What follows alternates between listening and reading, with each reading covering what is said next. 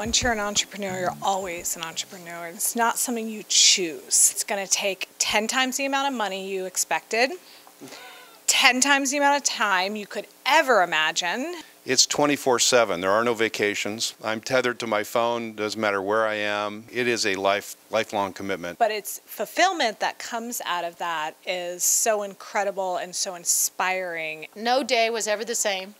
There was an opportunity to work with people, and I was really intent on helping the world get fit. When I look at people and I look out in our parking lot and I look at the buildings that we're buying and things like that, I mean, I'm creating these opportunities. Mm. There was no job, and now there is a job, and a fun job. To know that we're providing a living for that many families uh, really, really is rewarding. If you want to do it, it's awesome, it's fun, it's great, but do it carefully and don't just do it because that's what you want to do, make sure that it's the right opportunity and that you've thought it through and, and do so cautiously because there's no first, second chances. With great reward comes the opportunity for great risk. And a lot of what you're going to do in life, uh, regardless of, of your career path, is, is going to involve both risk and reward. There are a lot of small businesses that start that don't make it.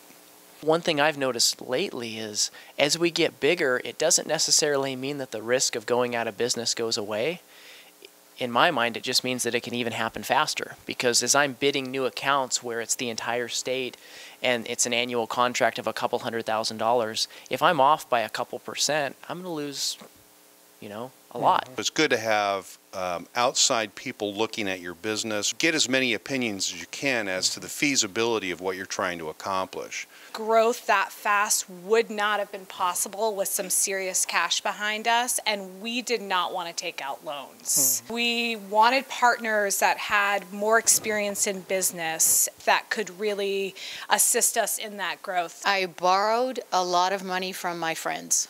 $600,000 of personal money and then the rest I had to go and sell a bank. People don't want to loan money to people who are just starting their own business. So you have to be have a good plan.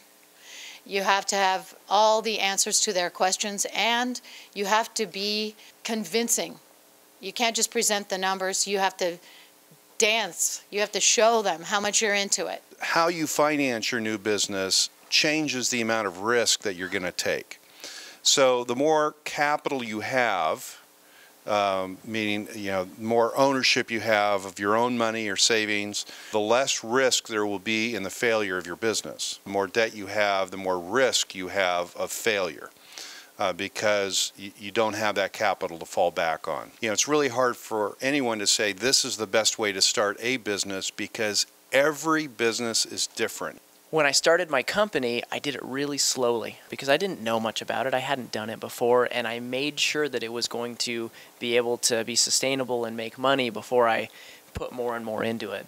I have a culinary arts degree, which actually is pretty useful, but on the business side, and that's where I spend most of my time, it is no use to me. So you hire people that are better than you.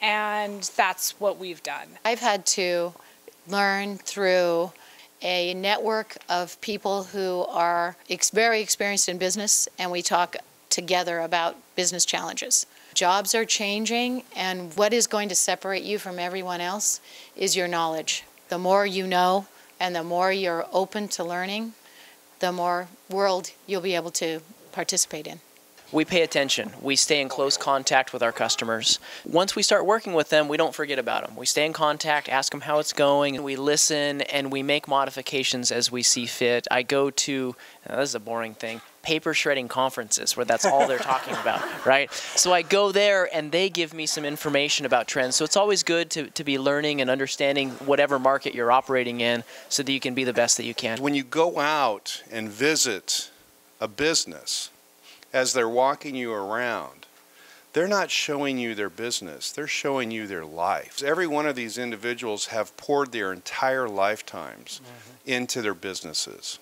What an, what an exciting and wonderful opportunity. You can make money when you're not physically there. You're always kind of there and involved, but not physically working and revenue still coming in. And that was something that I always wanted. It was a day that I was walking, it happened a lot, but one day that I was walking to class at Humboldt State and I saw one of our trucks drive by. And I was like, I've made it, you know? I'm sitting here in class and I'm making money. I think entrepreneurs have a unique personality, but sometimes you're going to get to the point where if you've got an idea or you've got a passion or you've got something that you want to bring forth into the world, then you need to learn a little bit about business because it's a great model. It's a great way to bring your dreams into reality and to be able to do it all the time. I would share this with you as you're trying to decide what you want to do. There are three elements that you need to make sure that whatever your choice of vocation is meets. First one is passion. What do you have a passion to do? What do you want to get up and, and do? Two is you need to be good at it. Okay? You may have a passion, but you're not very good at it. It's probably not a great choice. The third one is that, that you can make a living at it, that it's something you can do. Uh, great illustration. Uh, there's, there's an old joke. How do you get a musician off your porch? You pay for the pizza. The reason being is that you may have a passion for music, you may be good at it, but a lot of times it doesn't pay the bills.